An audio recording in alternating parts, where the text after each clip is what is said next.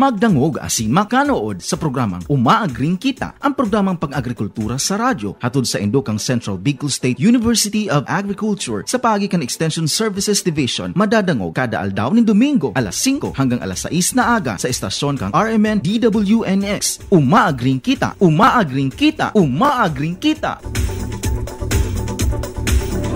The philosophy, vision, mission, and goals of the Central Bicol State University of Agriculture. Philosophy, Education for Sustainable Human Development. Vision, an agricultural research university of global standards. Mission, leading innovations, building resilient and sustainable communities. Goals, enable transformative and inclusive learning experiences. Generate and utilize new knowledge and technologies. Engage and empower communities. Intensify internationalization and resource generation initiatives. Establish one e-governance system and enhance management of university resources.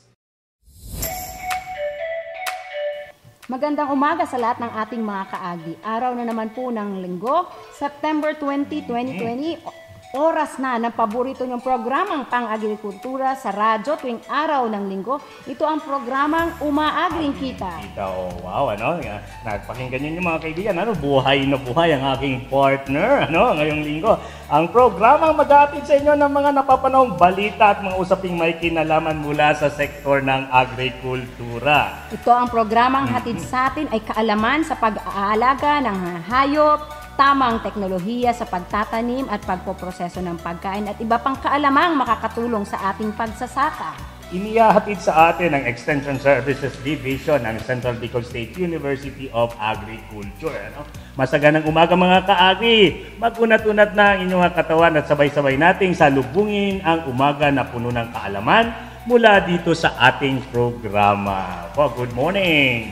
Yes, good morning buong Bicolandia at happy fiesta! Oo, Ito po ang fiesta ng ating patrong Nuestra Señora de Peña mm, Francia. Mm.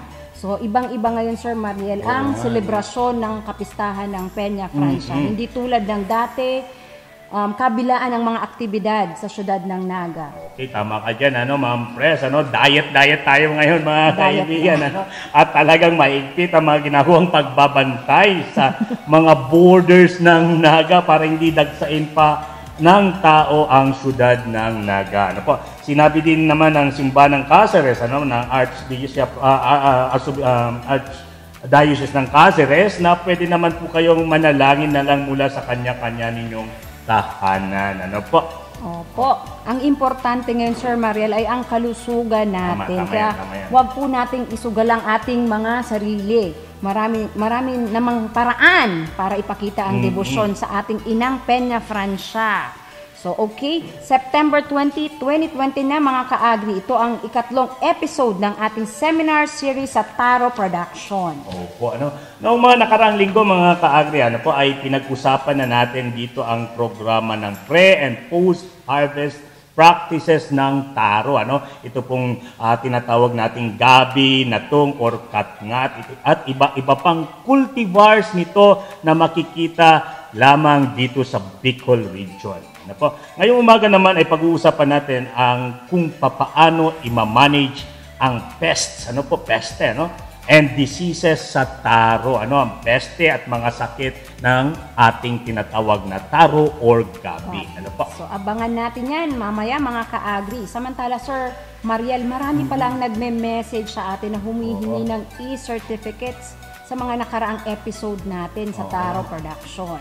So muli po namin ipapaalala na kapag natapos na po ang lahat ng ating episode sa Tara Production, saka po kami magsisend ng e-certificate sa inyong mga email. Opo, ano kaya okay kaya nga po dapat ay uh, tama ang pagkakalagay ng inyong mga email address dahil doon namin ipapadala ang link ng evaluation at ang inyong e-certificate. Maaari po kayong mag-text sa mga numerong 0946801 2818 at 0916-256-9451 kung kayo po ay may mga tanong. Kung hindi naman ay mag-message kayo sa mga sa Facebook page ng Extension Services Division ng CBSUA Pili Campus. Ano po? Para po dun sa mga tanong natin. Okay?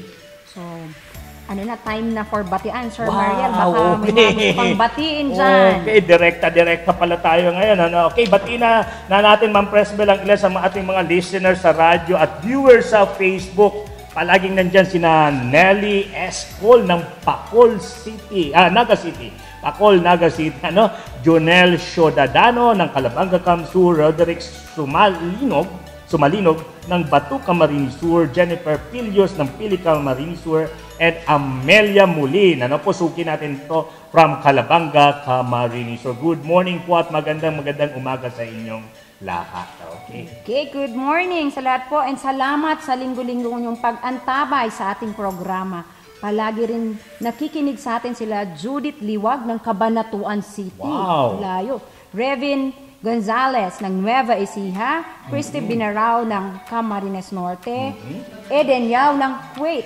Wow, ano? Wait, kapitbahay lang natin to. Oh, nandyan lang yan sa tabi-tabi. May Okay. nagad ng, ng Ilocos Norte. Okay, ano? Nationwide na tayo. Malayo na. na talagang naabot Oo nito po, kaya hindi lang nationwide, worldwide. na tayo mag-Tagalog. Oo nga, tama yan. Ano? Gumaga na ba ang Tagalog natin?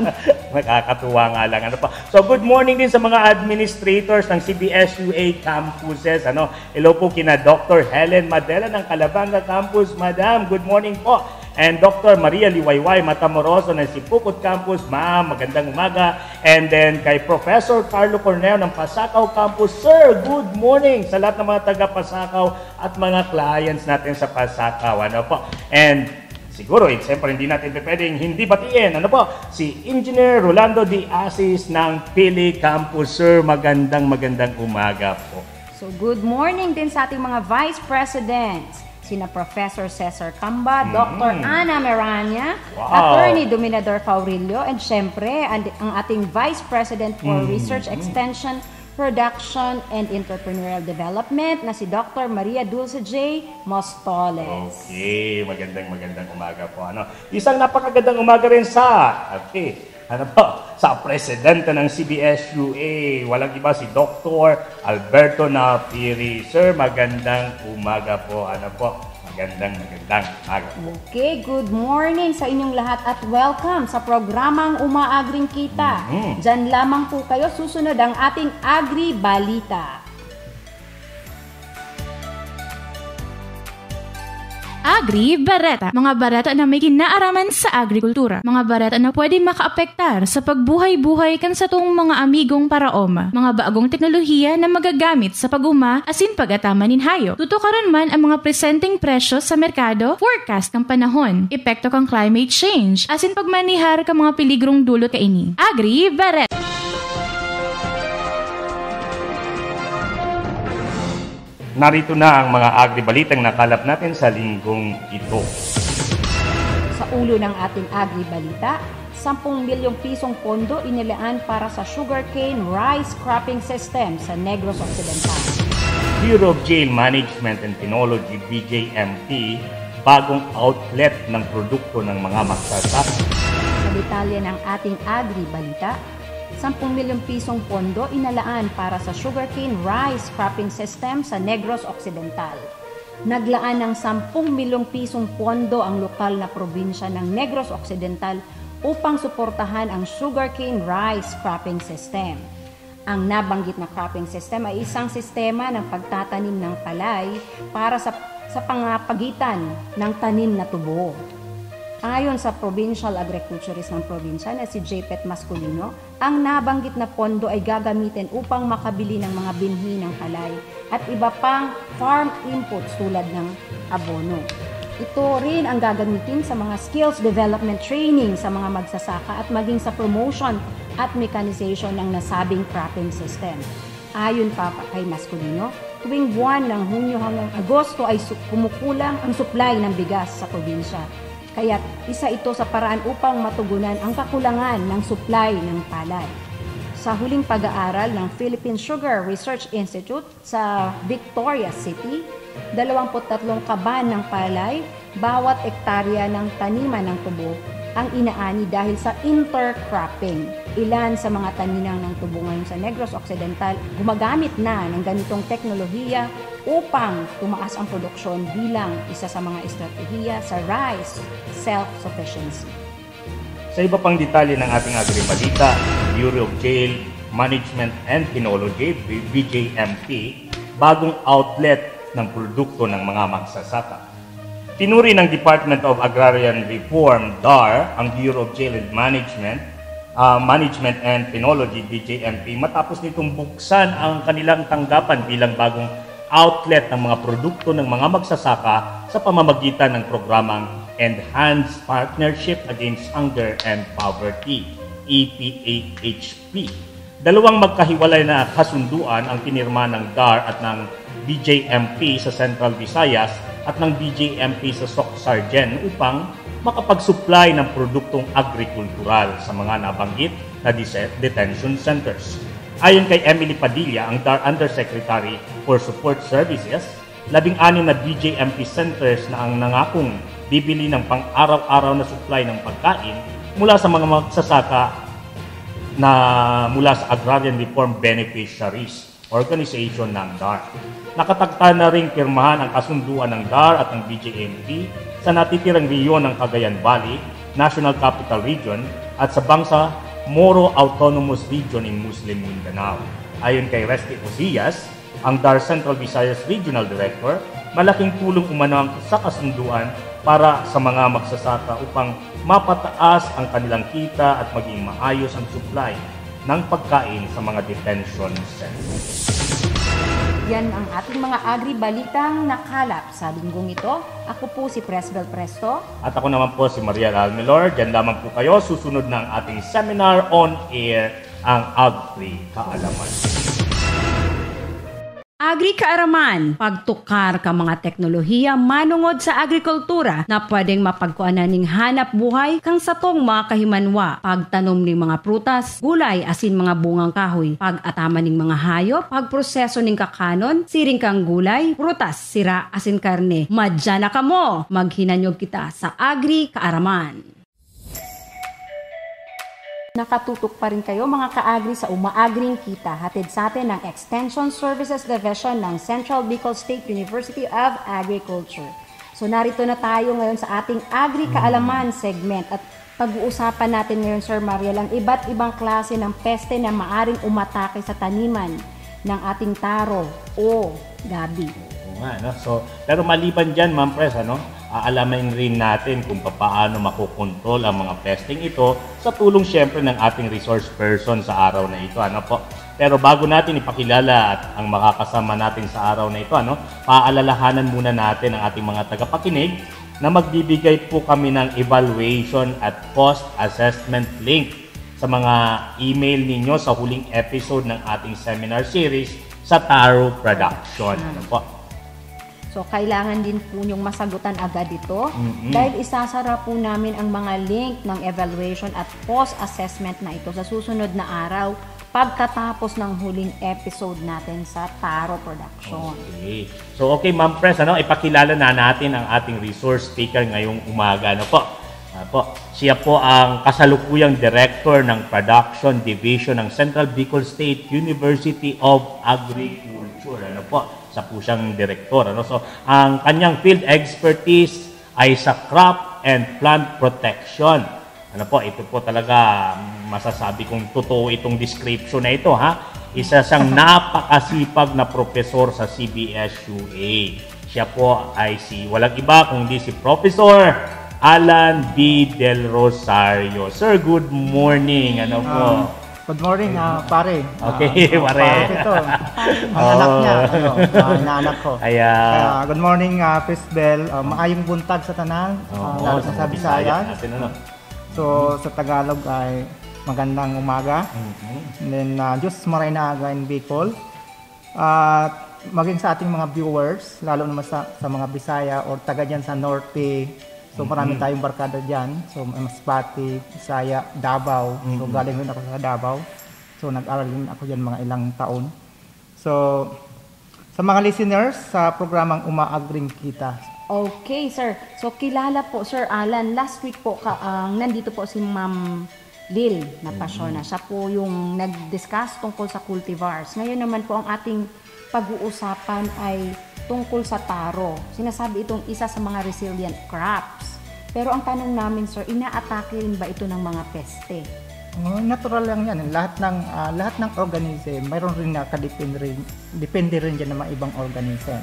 So, ang, ang gabi, ah, isa sa mga laman na pwede rin atakihin ng mga peste.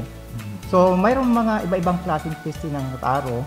Ah, ah, depende, may kanya-kanya rin parte ng taro na inatake, iba-iba rin ang peste. O kaya mayroong ilang peste na pwedeng atake rin ang dahon o kaya ang laman o kaya ang kanyang ano, ah, tangkay. So medyo ano lang kasi ano, pag sinabi kasi nating taro, parang ano eh, parang unusual na sabihin natin may peste kasi sa atin kasi pag sinabi natin gabi kung saan saan lang siya tumutubo Oo, oo. or hindi siya gaano talagang ginagawa. Though napag-usapan na natin last time na talagang ngayon ay nagtatanim na tayo ng taro. So therefore dapat talaga pag-usapan din natin yung mga pesting maaring maging ang tawag dito, maging Problema. o problema or maging ah, maging sanhi kung saan bababa yung production natin ano sir or Ah, pare? totoo ka, totoo ka diyan. Oo, so, oo. pero hindi lahat ng ano, lampisti ng taro ay pwedeng makaapekto sa production. So may Ah, mga okay. may mga importanteng ah, insekto or sakit ng taro na posibleng ah, ikabagsak or ah, pag sinabi kasi peste, pag ang damage ay masyadong malaki, so pwede natin sabihin ng isang peste ay destructive or pwedeng peste. Pag mababa yung population niya, doon sa kung hindi, hindi makaka-apekto sa yield o sa production, ay hindi pa rin natin masasabing peste yung Ah, okay. organism. Kumbaga controlled pa siya. Controlled pa siya. yun. Ah, dito sa atin kasi, pag sinabing gabi or taro, ah, nakadepende tayo dito sa dahon. So, iba-ibang lugar, limbawa sa Nueva Ecija or northern part of Luzon, ang ginagamit nila doon, ginagawa, ginagawa nilang ano, ul- pang-ulam or gulay ay yung yung tangkay tapos yung laman. Pero dito sa Bicol, nakadepende tayo sa dahon. Mm-mm. Kaya ang pag-uusapan natin dito ay mostly yung yung yung peste sa dahon o Okay sa po. foliage Mm-mm. o sa no sa tangkay. Kaya sa Mindanao iba rin doon, iba rin sa Bisayang ang ang treatment nila doon sa taro ay nakadepende sila doon sa laman. So sa atin dito sa Bicol region, ah pag sinabing taro, nakadepende tayo sa dahon. Sa dahon. Kasi So, ginagamit. karamihan ng mga peste na pag-uusapan natin yung yung peste doon sa dahon ng ng gabi. Ah. Okay, so yung tinatawag nating foliage feeders. Ah, foliage feeders. Oo. So yung mismong dahon ang Yung dahon. So, yung yung ano laman, wag na natin pag-usapan yung kasi So dahon tayo ah nakakonsume. nakapokus tayo sa dahon kasi yung piste sa laman ah, karamihan doon yung mga ulal or yung grab, yung ulalo ng mga beetle o kaya nematodes. So, since tayo dito tayo nakadepende sa dahon, so pag-usapan natin yung peste sa dahon. So, marami tayong, may pinili lang kayo mga, ano, hindi, hindi naman lahat ng peste or nakikita niyo yung organism doon sa, sa, ano, sa gabi ay peste. So, may pinili lang akong ilang, ano, ah, ilang grupo ng mga peste. So, mayroon ta kinakat- kinategorize po namin ito. Mayroon tinatawag tayong foliage feeders. Pag sa yung foliage feeders, yung ang kinakain niya yung dahon. So, so na, doon tayo nakapokus. Na, so, ang foliage feeders, yung marami po yon Mayroon tayong tinatawag na taro grasshopper. Itong taro grasshopper, karaniwan ito makikita mo nagkukumpulan doon sa dahon ng, ng gabi. So, galing doon siya sa, sa mula nung mag mapisa or mula nung lumabas siya sa itlog. So, doon siya nag-grupo doon sa dahon. Karamihan dito sa, sa, sa dulo ng dahon, pag medyo bata pa yung, yung grasshopper. Habang tumatanda, kinakain niya yung ano yung yung ibang parte ng dahon. Ang apektado lang po nito ay yung pinaka yung pinakaibabaw ng dahon. Hindi naman lahat talaga kinakain niya yung dahon. So, kaya makikita mo yung Pero hindi yung po siya nabubuta, sir. Ah, may butas na maliit yun siguro, Maliit lang. pero hindi naman lahat ay nabubutas. Hindi katulad ng ibang piste na kinakain niya talaga yung lahat ng dahon. So mamaya, pag-usapan rin natin yun. So itong taro grasshopper, yung kinakain niya lang yung, yung pinakabalat o pinakaibabaw ng dahon. Pinaka-outer Oo, kaya skin. outer skin. So kaya makikita mo na yung yung taro parang ano siya knitted o, o kaya medyo ang tawag nito sa Bicol silag or medyo Parang transparent. nagiging Transparent. Oo. So dahil doon kinain niya yung ano ibabaw ng parte ng dahon. So, mayroon naman yung tinatawag nating common cutworm, yung tawag sa atin sa Tagalog is harabas. Harabas. Harabas. Mga harabas. Oo, harabas. Ano yun? Cutworm. Ah, itong cutworm po, ano po ito? Ah, tinatawag natin na polypagos na insekto. Pag sabing polypagos, ang dami, hindi lang gabi ang kinakain niya, so maraming halaman ang, ang inaatake nito. Kaya, kaya karaniwan, kahit anong kahit palitan mo yung gabi, so nandoon pa rin siya dahil kumakain siya sa ano sa mga sa mga damo, kumakain siya sa mais, kumakain siya sa iba-ibang klaseng tanim. Kaya sinat- tinawag natin na polypagos. Poly means marami. Anong Kung- itsura po nitong cutworm, sir? Ang cutworm po is uod po siya. Anong itsura? Ang color? Ah, kul- may iba-iba pong kulay Ah, minsan. Depende sa ano, ano, depende ng- sa host. Ang cutworm mayroon siyang ah, medyo may itim doon sa sa sa dulo ng ano ng ng ano ng ulo. Ay, ulo. Oo. Dito sa ano sa after ulo mayroon kang makitang stripe na itim diyan tapos may may guhit ano horizontal yung Ah, may from, horizontal from siya. head to ano from head to ano yan abdominal part Ang doon iba rin sa ito ano. sa doon sa tinatawag nga yung very popular sa ngayon na army worm, iba iba Ang rin. iba yung army. Ah, iba po, pero magkapamilya sila. Ito, Spodoptera, ano ito, under Spodoptera genus. Kaya lang itong common cutworm, Spodoptera litora siya, yung common cutworm.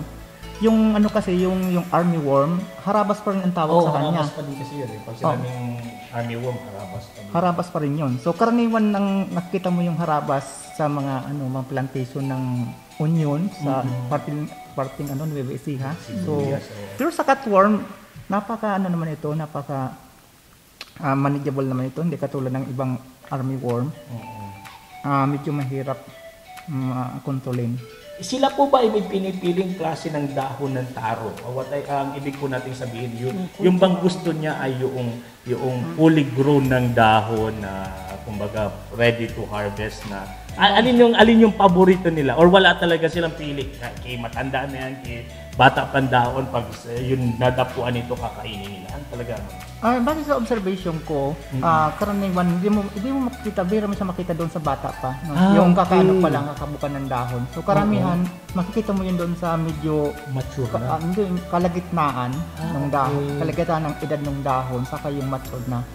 okay, so yung So, ayaw pang niya harvest bata. talaga ano kasi Oo, usually yun oo. ang ina-harvest Ito yung marketable na ano. Okay, so mga ka-agri, ano, ah, kung gusto pala nating tingnan kung talagang nag exist yung tinatawag nating ah, taro grasshopper at yung common cutworm, ang titingnan pala natin sa ating mga pataniman ng taro, ng gabi, ay yung medyo katamtaman pa lang ang laki, ano, katamtaman pala na tanda na dahon at makikita natin posibleng meron doon. Ano? Pero sabi ng ating resource speaker, kung minsan tolerable naman yung dami na hindi pa natin ikukonsider ang peste. Pero ah, for the sake lang na may malaman natin kung ano itong pinag-uusapan natin, eh, pwede nating i-check ang ating mga pataniman o tanim na taro. Ano po?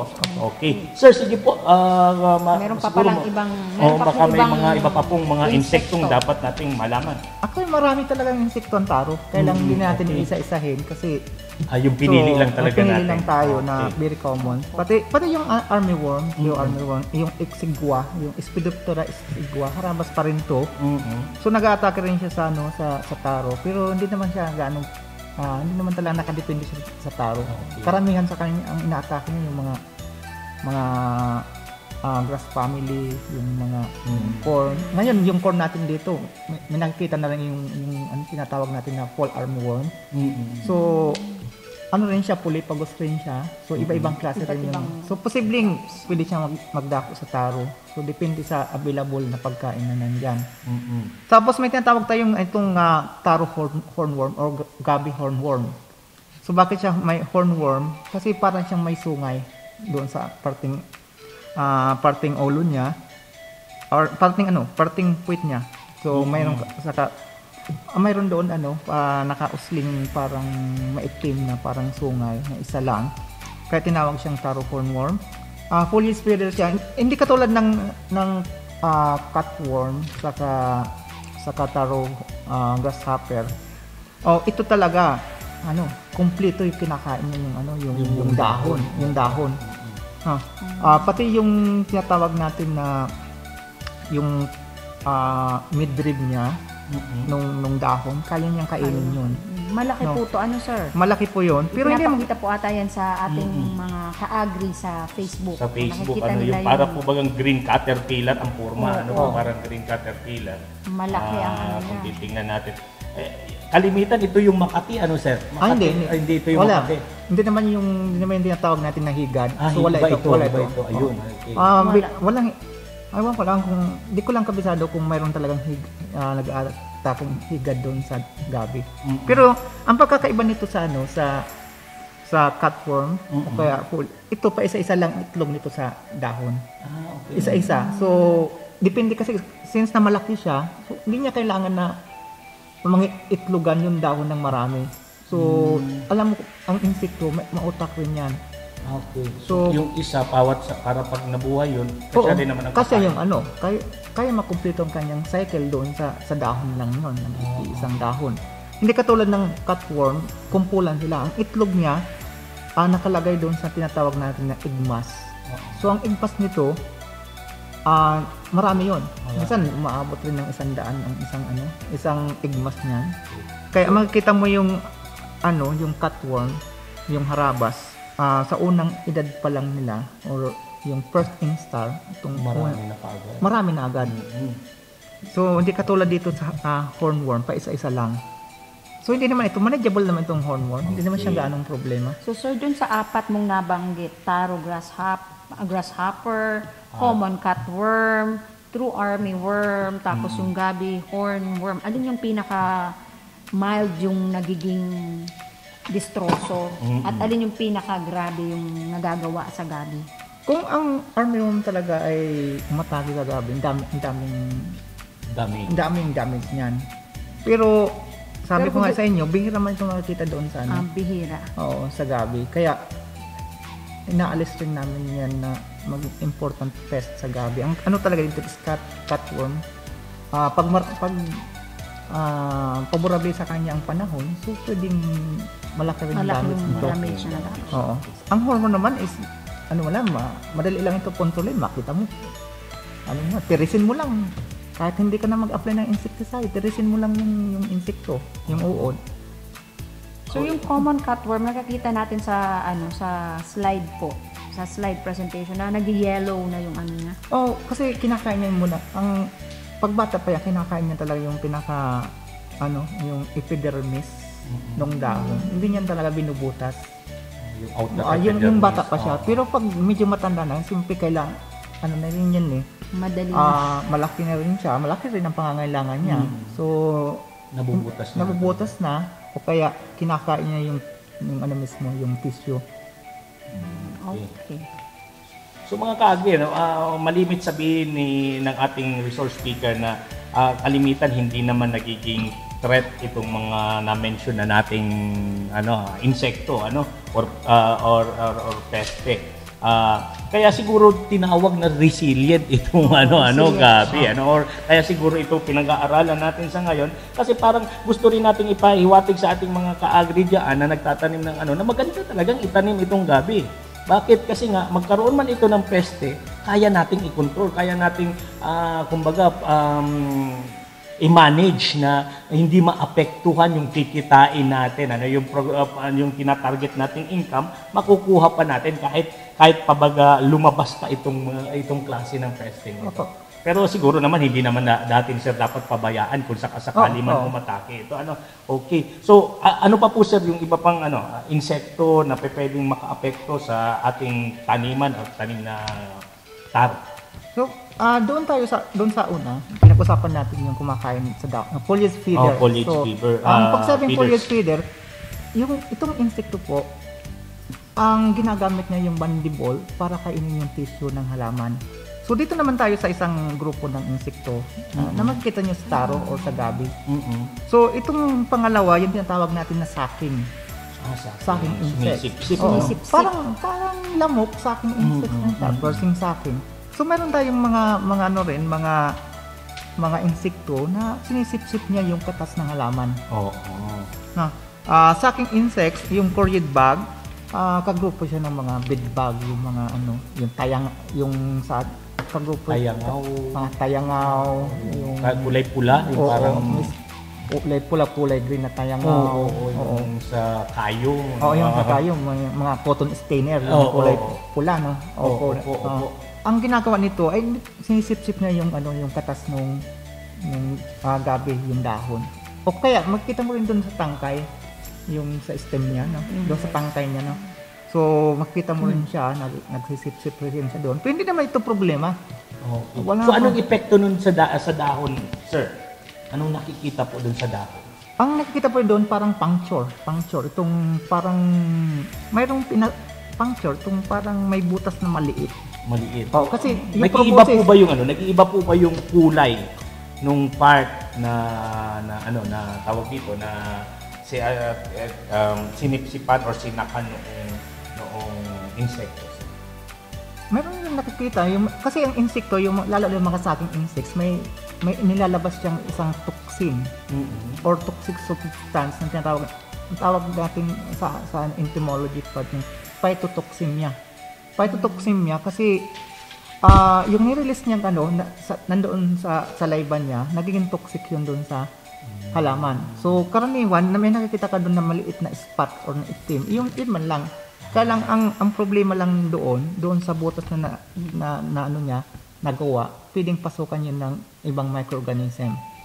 Microbes. Eh, No. so pwedeng mas mas may mas may maging problema pag na, Oo. nasimulan ng ganun. Yung Okay. oppor- tinatawag natin opportunistic microorganism. Ah, may May mga mga oportunista. Ah, mga opportunista. mga kailangan, opportun- kailangan may butas. Survival eh. Oh, okay. Ka- okay mga kaibigan, ano, pagpapatuloy natin nating napakagandang usapan ano kasama pa rin si Professor Alan Del Rosario. Maya-maya lamang ah, itutuloy natin ito. Ah, diyan lamang po kayo magbabalik po ang umaagring kita. Konting kaalaman sa gabi. Alam nyo ba na maaaring mapakinabangan ang lahat ng parte ng gabi? Ito ang pangunahing sangkap sa pagluluto ng paborito ng lahat, ang laing at pinangat. Alam nyo rin ba na ang pinatuyong dahon ng gabi ay ine-export na rin sa ibang bansa?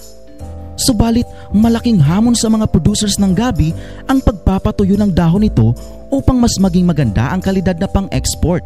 Ang Central Bicol State University of Agriculture ay maaaring magbigay ng asistensya para sa pagpuproseso nito at sa magandang kalidad ng produkto. Makipag-ugnayan sa Extension Services Division ng Central Bicol State University of Agriculture para sa pagpuproseso ng magandang kalidad ng gabi.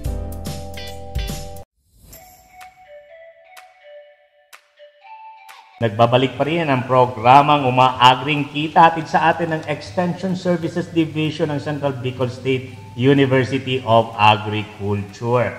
Mga kaagri, kung kayo po ay mayroong mga katanungan tungkol sa ating pinag-uusapan, ngayon ay maaari lamang na ikomento yan sa comment box ng ating Facebook live streaming. Okay. Yes, wow. and maaari rin pong i-text ang inyong tanong sa numerong hmm. 0916 256-9451 para sa Globe o sa 0946-801-2818 para naman sa Smart or Talk and text. Okay. Kung gusto naman ninyong balikan ang mga napag-usapan natin ngayong umaga ay bisitahin lamang po ninyo ang Facebook page o kaya ang YouTube channel ng Extension Services Division. Makikita din po ninyo doon ang lahat ng episodes natin sa mga nakaraang seminar series natin dito sa Umaagring Kita. Okay, Sir Mariel, balikan natin si Sir Mm-mm, Alan. umiinit so, ang usapan. umiinit yung usapan. Sabi niya nung ano, eh, wala daw siyang masasabi masyado. Marami pala. Mm. So, balikan po natin. Maraming Nandun na tayo na sa sucking peste. si paring Alan. Peste. okay. Kung gusto mong piste, no? sabi, pag, pag sabi kasi natin ano, piste, Okay. ano, ano, kasama na doon yung an- ano yan. So, kung Ah, okay. ano na ano ka ba, with bag or langaw, tawag natin yan piste. Peste pa. Okay, So, okay. So, maraming, ano, maraming, Maraming klase definition. talaga, oo. Definition. So, May may mga pagkakapare-paras ng sacking. Oo. uh, tapos yung sinabi kanina ay yung foliage feeders. Okay, na, na, kanina po nagtapos tayo doon sa tinatawag nating sucking insects. Ano po, sucking insects at ang na-mention na natin ay yung yung corid bug, tapos uh, Mili- milibag. okay, millibug, and then ano pa po sir ang pwede na mayroon para tayong karagdagan sa mga sucking insects. Mayroon rin sa sucking insects, may mga important, in- ano pa rin dito, important pest ng taro. Mm, mm, mm, mm. So, itong Korean bag, hindi ganong problema ito. Itong uh, milibag, ang pil- milibag po, parang puti yung kulay niya. Itong klaseng milibag na nag-atake sa ano, sa sa gabi or sa taro ay ibang ano rin ito pulipagos rin ito. So Okay. makikita mo rin ito sa ibang ano, sa, ibang halaman. Halaman, okay. Di ba? Sa pinya o sa gayabano. So, ah, ang scientific nito is Pseudococcus longispinus. So, makikita mo rin ito sa iba, ibang klaseng halaman. So, sinisip-sip niya rin yung ano, yung yung katas ng halaman, yung particularly yung dahon ng gabi. Saka, saka kahit doon sa ano, sa pagitan ng ng tangkay or yung ano, yung tinatawag nating pseudo stem or yung tangkay ng ano, ng gabi. So makikita rin mo rin ito. Kung sa mga upland na taro, makikita mo rin ito sa parting ano, parting corms or parting laman. Yun sa baba. Makikita mo ito sa likod ng dahon. Itong ina- tinatawag natin na milibag. So, ah, pero bihira man lang. Hindi, hindi ko ngayon. Minsan, pumunta ka sa mga may gabi. Bihira mo yun ito makikita. Okay. Ah, sir, matanong ko lang, ano, kasi na-mention natin yung mga, ito mga insect na nag, ah, sumisik, ah, sucking nga kasi, kaya sumisip-sip.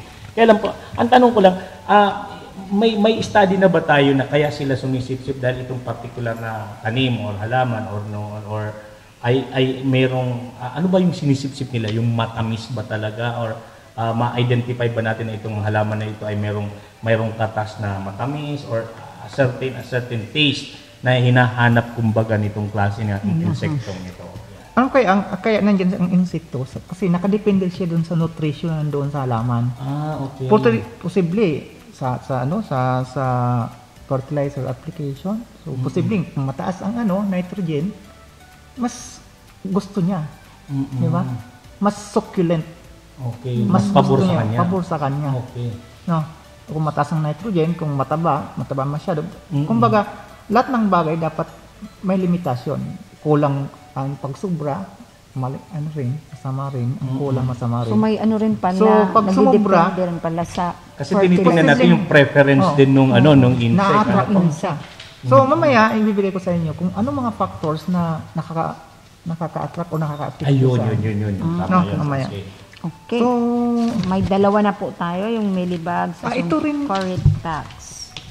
Ito rin ano, uh, gabi plant hopper or ta- taro plant hopper. So, isa rin itong ano, ah, problema sa taro. Oo. So, doon sa iba, hindi ganong problema. Pero itong last two parts nito, at, ah, na doon sa insekto, Mm-mm. na nag-atake doon sa sa taro.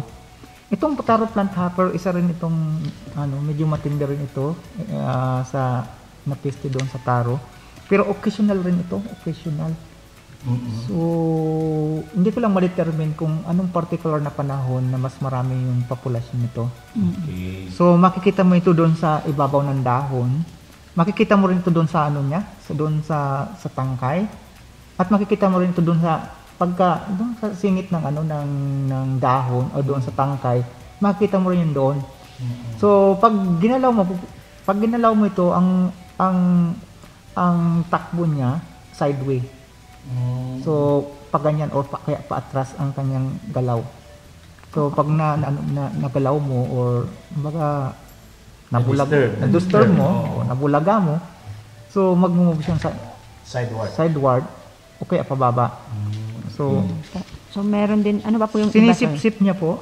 Meron pa pong iba, yung, um, ang sinisip-sip po ng, Ganun rin. Grasshopper. Ng taro plant hopper. Ah, plant hopper. Oo. Tapos itong taro aphids, itong matindi rin itong taro a- aphids nito. Ah, malalaman mo lang na may aphids yung taro kung may nakikitang langgam. Mm. No. Minsan ang langgam, magbarkada itong langgam sa aphids. No. Ah, may tinatawag na symbiotic kasi relationship. Mm. Bakit sila may symbiotic relationship? Kasi yung langgam, ah pinoproteksyon niya yung yung ano, yung aphids. Kasi ang aphids napaka ano niya eh. Baga kunting galaw niya na pwede nang mamatay or napaka ng katawan niya napaka ano, napaka sensitive, sensitive. yun. Oo. So ang ginagawa ng ginagawa ng ano ng langgam, yung mga pinoproteksyon na yun against predators, yung kumakain dun sa ano, duman sa aphids. Kahit tao pag pumunta ka diyan, pag kinagat ka agad ng ano langgam, may pinoproteksyonan yan. So madali na ito ma-determine, kaya lang ang problema nito kung mataas yung population, nag-iiba rin yung kulay ng dahon. Mm, okay. Makikita mo doon sa ibabaw ng dahon, nag-yellow. Mm-mm. So, ang ibig sabihin, kung tingnan mo siya sa likod, posibleng mayroon siyang Aphids. aphids. Aphids. Okay. So meron din, ano pa po si- sir yung iba pang peste o yung insect? So, mayroon pa tayo rito yung... Ma- Ito ba, hindi na ito, ano, hindi na ito insekto. Okay. Pag sinabi kasi natin yung insekto, yung, yung may, may anim na paa, insekto ang tawag dyan. Oo, tandaan ninyo yung mga Mm, oo, kaagri, ah. bayo. Animang paa, insekto yan. Oo. oo. okay. Chinek ko pati yung paa ko ay Baka ako. May tumubo pang apat. okay. So ano ba? Itong mites. Oo. Itong mites kasi, ano ito, ka- kagrupo ito ng mga gagamba. So, may walo siyang paa. Hmm, okay. Kaya lang, ano ito? ah, Microscopic ito? Microscopic, oh. Ayun, Tama, kaya- tama, tama, pare. Oo. Ah, microscopic ito, napakaliit masyado. Saka, Mm-hmm. ah, ang ibang mites, pwedeng magkumpleto ang kanyang life cycle within 72 hours. Oo. madali, Madali madali, lang. mabilis lang yung, mabilis lang yung dumami ang populasyon nito. Maiksing problema to, maiksing problema. Oo. Kasi, pero pag madami sir, grabe rin yung Oo. nagagawa. oo. 72 hours, ano, okay. So anong ginagawa nung mites? Parang ganun din, eh, sinisip-sip niya rin yung, yung Sip-sip katas. No? Pero dahil sa marami sila, kaya ah, kumpulan, kaya makikita mo yung, yung dahon na apektado ay namumuti. So, ah, Kapag namumuti parang ang dahon, namumuti mites. na parang alikabok na mayroon doon sa dahon, doon sa ibabaw. Powdery yan eh. Pag, Powdery. Nakita, pag nakita mo, parang powdery Oo. yung ano. Minsan sa likod, titingnan mo, marami yan dyan. Pero Makati to eh. Makati tong mites na ito. eh. Nabiktima na ako nito eh. Hindi, ibang, ibang klaseng mites yung Ay, ibang klase ba yun? tungaw yun, tungaw. Tawag sa atin Ah, tungaw. okay. Mayroon kasing mites na nag-aatake rin ng tao. Mayroon din nag mites na nag-aatake sa sa manok. Ayun. Yung yung sa manok ba doon sa Yung katawan ano nga niya. yung sa manok. Makita mo yung pulang-pula doon sa kanyang skin. Oo. So, mayroon yung mites. Okay. Kahit sa tao, yung kil- kung nung mga bata pa kami, kahit kilikili namin, tapos pusod. Mm. So, mayroon mites yun. Maliit, mic- microscopic siya. Mm. Pero Makati eh, no? Makati, makati masyado. Ito naman sa dahon, itong uh, mites nito ay nakadepende rin siya sa da, sa sa ano, sa halaman. May mga mites kasi nag-aatake sa tao, mayroon din sa manok, mayroon din mites, iba-ibang species. Iba Sa yung pananim preference niya. Okay. So, doon siya sa dahon. Mm-mm. Kaya, meron nagtanong sa akin yan, Sir, anong gagawin ko doon sa, ano, hindi ko, ano kasi namumuti yung dahon. Wala naman ako nakikita piste.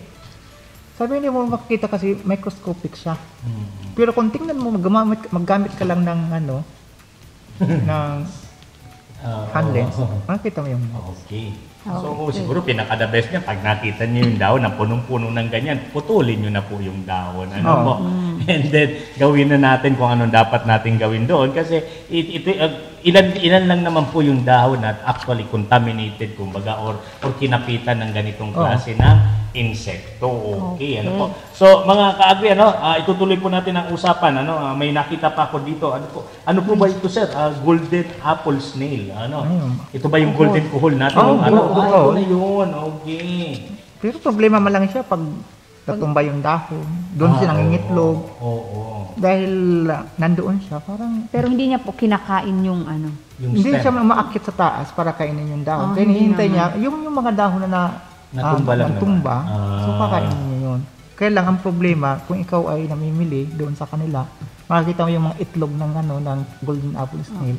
Siyempre, iba rin yung im- impression mo doon. Oo. Sa bagay, dito sa Bicol naman, delicacy pa rin yung uh, kuhol, di ba? Oo. Oo, sa parting rinconada, makita mo, every afternoon, makikita mo yun sa palengke. May mga tinuhog-tuhog ng kuhol eh. ano, oo, talaga ginagawa nilang, ginagawa nilang ano eh, pa- para bang ano, ah, Barbecue. barbecue, ano, pero barbecue yung kuhol, ano. Oo. Yun yung isa sa mga delicacy. Kaya, pero kung talagang ah, ang target lang natin ay yung dahon ng gabi, talagang iiwasan talaga natin yung kuhol. Okay. So, ah, sir, ma, ah, yun na yun po siguro yung ah, to- ah, total ng mga dapat natin pag-usapan insekto at saka Oo. peste. Ah, dito naman tayo yata sa diseases. Diseases. Ano po? Sir, Sakit. doon naman tayo sa diseases Sakit. ng Oo. taro. Sakit, sa taro. Sakit ng taro. So, ah, maraming maraming ano klaseng sakit sa taro rin. So, pero identify lang natin yung yung very common dito sa Bicol region. Or Opo. uh, very common dito sa ano sa mga sa mga taro farmers or gabi farmers. Yung tinatawag natin na phytophthora leaf blight. So ito ang pinakamatinding ano pis, ah, Ay, so- sakit. Phytophthora leaf, ah, leaf blight. So blight ibig sabihin nangingitim or nag ah, na nasisira yung yung parte ng dahon so naging brown or itim. Mm-mm. So ito yung pinakamatinding ano problema talaga ng mga taro farmers. Mm. Lalo na ngayong tag-ulan, lalo na ngayon kung mataas yung humidity plus ulan, so mas favorable doon sa microorganism.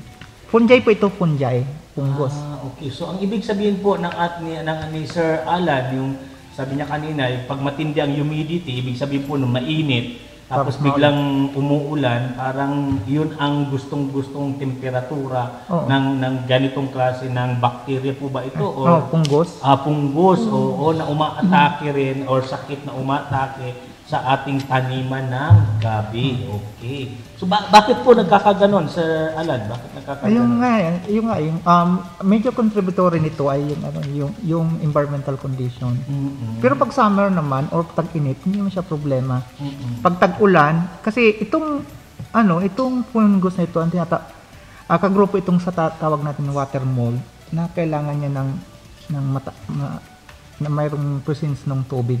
Mm. Kasi active siya doon. Kasi mayroon siyang parang special ano parts na pwede siya mag-move. Ma- ah, papunta doon sa ano sa So ano ang dapat natin gawin Sir Alan para ano para para kumbaga ma, ma- maiwasan o dili naman kaya ay labanan itong klase, bigat itong klase ng fungi. Ah, dapat maaga pa lang pag nakita nila, listening, putulin na agad yung dahon. Ah, para wag na makahawa. Oo, tama. Oo. Okay. So, So, pag nandoon yun, saka ah, kung overcrowded na, bawasan nila ng ano, ng halaman. ah, okay. So Kasi tataas yung humidity sa ilalim, so walang Ah, tama, dadaan ng hangin. tama, tama. Walang dadaan ng hangin. Okay. Sir, meron pa po bang ibang disease yung taro? Ah, mayroon pa ko yung ano, ah, identified yung tinatawag nga ng Dashin mosaic vi- virus, Dashin mo. Itong mosaic nito, ah, karaniwan ito sa mga kagrupo ng mga mga colocasia na na halaman. Okay, mayroon rin ng ng ano, ng ornamental na inaatake rin ito. Ah, alternate host sila, pero ang pinaka major host nila ay yung colocasia. Okay. Ano anong nagiging epekto po nito sa dahon ng gabi? Pag ma- pag mayroong sakit po, ah, dahil virus siya, Oo. Siyempre yung quality ng dahon. Kung mayroong puti-puti yung dahon, Ah, so iba na yung quality niya. okay. Saka systemic po siya. Lahat ng parte ng halaman infected na. At wala pa akong nakikitang ano na yung total resistant, tolerant mayroon. Mm-mm. Pag sabing tolerant, okay lang mayroon sakit pero makapag-produce pa rin siya ng magandang ani. So, eh, tulad po nan- nandito sa picture, parang nagkaroon ng batik-batik na white doon sa ah, dapat ay green lang na dahon. Opo. Para din nagkaroon ng stripes na Green. white ah, white and green para lang doon sa dahon. May yellow. Oo. Ah, so yun po pala ay sakit. Sa, Sakit po yun, Oo. sakit. Uy, mga ka-agri, ano baka nagkakalituhan tayo. Kung minsan tuwang-tuwa tayo na nakikita natin yung ganitong klase ng halaman. Uy, sabi natin, pwede nang ipan-display o gagawin natin ornamental. Kasi yun ang uso. mga ka-agri, ah, pa- sa mata pala ng expert, hindi yun, hindi yun normal at yun ay isang klase ng karamdaman sa ating pananim na taro. Ano po? Sir Mariel, um, Sir Alan, medyo yung ating oras ay Ay, mabilis, okay, okay, kaya okay. siguro dun tayo sa pinaka-importante. Ano po yung control tactics or paano po natin Ah, sige, yun sige, sige. um, makokontrol Oo. ang mga So, pest? maraming klaseng ano, pagkontrol. Ah, pag sinabing IPM, halo-halo po yan. Integration, integration of, of tactics, sa pagsasabing strategy. Strategy, o is- strategy mo, maggawa ka ng paraan para makontrol yung peste. Mm-mm. Pero ah doon sa sa ano sa sa, sa insekto naman, ah, ang pinakamatindi talaga niyan yung yung cutworm saka yung yung aphid saka saka yung taro hornworm ay ta, taro gasa taro ano ah plant hopper Mm po. so kung kung, ma- kung mataas na yung populasyon niya so pwede, pwede silang mag-apply ng insecticide pero bago yun, gamit mo yung small hammers na tinatawag. Small hammers, ibig sabihin, pwede mong gamitan ng cultural practices. So, pwedeng alisin mo yung, yung, yung party na may at- atake.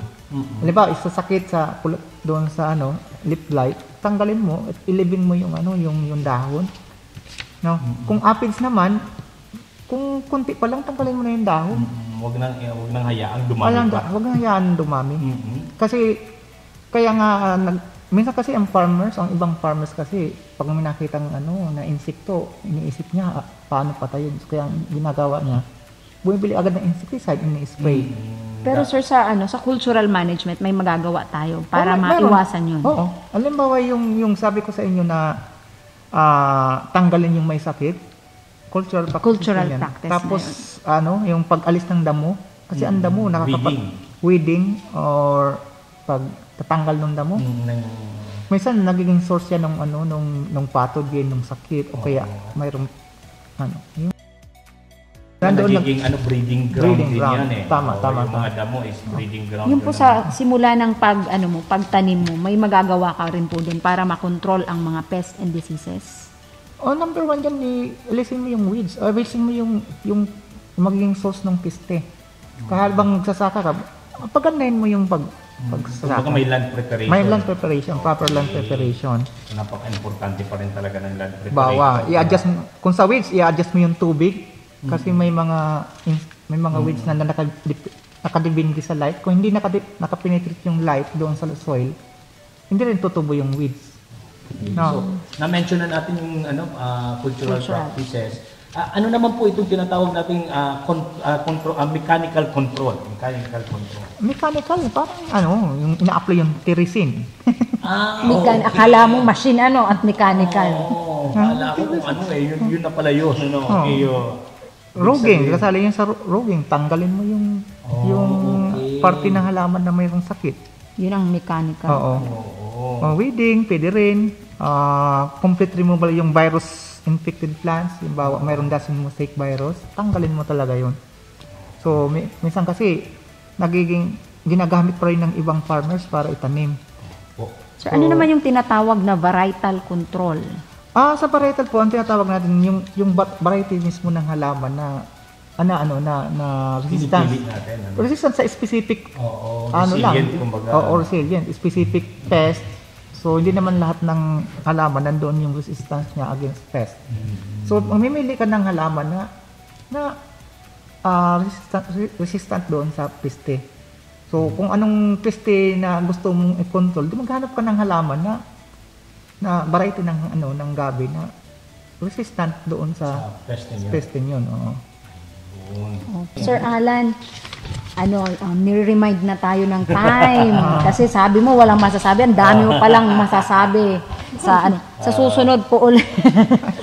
okay. So sir, maraming salamat po Sir Alan Del Rosario sa yung mga kaalaman tungkol sa mga peste at mga sakit ng taro. So meron po kayong gustong um, sabihin sa ating mga kaagri.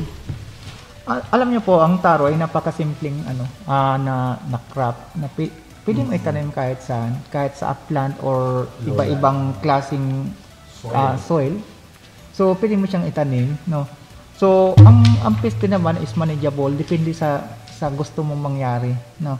O, limbawa, kung may nakita kayong peste na kunti pa lang, alisin nyo na. Huwag nyo nang hayaan dumami pa siya doon. No? So, wag mong hintayin na magiging peste na talaga siya. Opo. Sa, sa tol- tolerable, tolerable state, ano pa lang, population, pag sabing tolerable, nandoon pa siya sa populasyon na dikit, ano, ano pa lang, kunti pa Ah, lang. nakokontrol pa. Nakokontrol pa ng, ng, ng cultural practices or by picking the pest or removal of the infected one, infected plants. Opo. Okay na yun.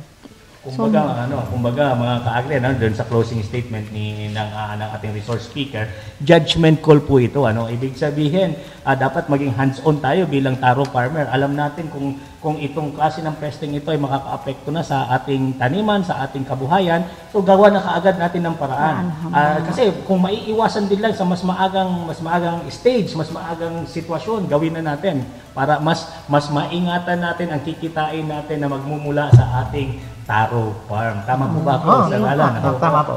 Thank you, Sir? Alan, sa napakagandang talakayan kung paano makontrol ang peste at sakit na tumama sa ating mga taniman ng taro. So, mga kaagri, Magbabalik po ang umaagring kita para sa question of the day. Diyan lamang po kayo. Konting kaalaman sa gabi. Alam nyo ba na maaaring mapakinabangan ang lahat ng parte ng gabi? Ito ang pangunahing sangkap sa pagluluto ng paborito ng lahat, ang laing at pinangat. Alam nyo rin ba na ang pinatuyong dahon ng gabi ay ine-export na rin sa ibang bansa?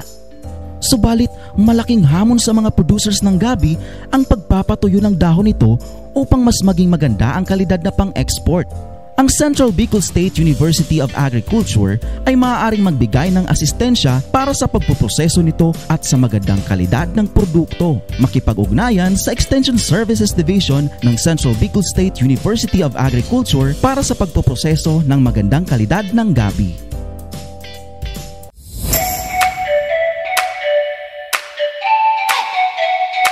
Babalik pa rin ang umaagring kita. Nandito na tayo ngayon sa ating AgriP Live promo. Ano? Kung saan magiiwan kami ng isang tanong mula sa mga napag-usapan natin sa araw na ito. Kapag tama po ang inyong sagot ay isasama namin ang inyong pangalan sa ating raffle. Dalawa po ang bubunutin nating pangalan at mananalo ng 100 pesos regular, Regular load. load. Wow, ano po? Laki ah. Pero sir, sagutin muna natin ang iniwan nating tanong last week. Ang tanong natin last week ay, ano ang dalawang klase ng cultivars ng, ng taro na matatagpuan sa bayan ng Nabwa, Camarines Sur? Ang sagot ay Balitaka at Prinsesa. Wow, ano po, ang galing ha. Congratulations, ano. Wow, hindi ko kilala ito. Congratulations. Parang ano po? na- Sino kaya ito? Okay, congratulations. Walang iba kay Binibini, Ginang Lourdes Bascunya ng Pili Camarines Camarines Sur. Sur. Ano, at kay John Anton E. de la, de la Punta from Bato Balani, Paracale, Camarines Norte. Good, uh, congratulations din po sa inyo, sir. Ano, ma'am? And sir, congratulations. Okay. So, okay sir, nandito na ang ating katanungan ngayong umaga. Ang Matanong. tanong, no? okay. Okay. Sa mga nabanggit na peste, ano ang tawag sa akin. sa microscopic na, ta- na peste ng taro? Clue, may walong paa. Okay. Okay. Ulitin natin. Sa mga nabanggit na peste, ano ang tawag sa microscopic na peste ng taro? Ang clue, may walong paa. Okay. Ipadala ang inyong sagot sa pamamagitan ng pag-text sa mga numerong 0916-256-9451 o kaya sa 0946-801-2818. Maaari din ninyo itong ikomento sa comment box ng ating live streaming at syempre, huwag kalilimutan ang inyong pangalan, edad at address. Okay, mga kaagi, sana ay may natutunan kayo ngayong umaga mula uh, mga impormasyon, balita at kaalaman na napag-usapan natin. So maraming salamat sa ating technical side or staff, ang mga masisipag na taga-extension division, at syempre si DW4 November Oscar. Ito po si Presbel Presto. Okay, ako naman po si uh, Miss uh, Mariel Almenor. Magsasama-sama tayo muli sa susunod na linggo. Alas 5 hanggang alas 6 ng umaga sa programang hatid sa atin ng Extension Services Division ng Central Bicol State University of Agriculture. Agrika, Tara na sa, sa programang programang Umaagring Kita. Magdangog asin makanood sa programang Umaagring Kita, ang programang pang-agrikultura sa radyo, hatod sa Indokang Central Bicol State University of Agriculture sa Pagikan Extension Services Division, madadangog kada aldaw ni Domingo, alas 5 hanggang alas 6 na aga sa estasyon kang RMN DWNX. Umaagring Kita, Umaagring Kita, Umaagring Kita.